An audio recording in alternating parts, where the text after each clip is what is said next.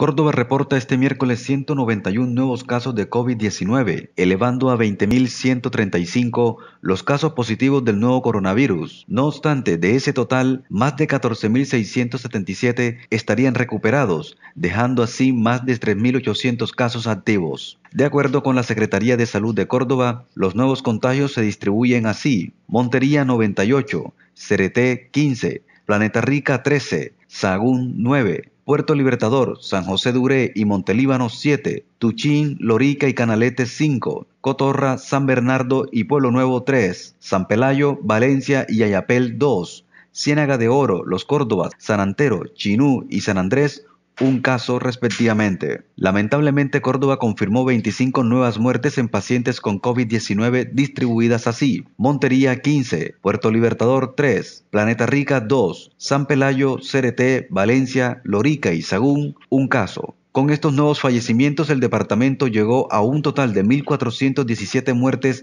por causas asociadas a la COVID-19. Del total de muertes por COVID-19 en Córdoba, en más de 1.300 casos se confirman al virus como causa directa, otras 31 están en estudio y 58 han sido en pacientes con coronavirus, pero con complicaciones de la patología de base.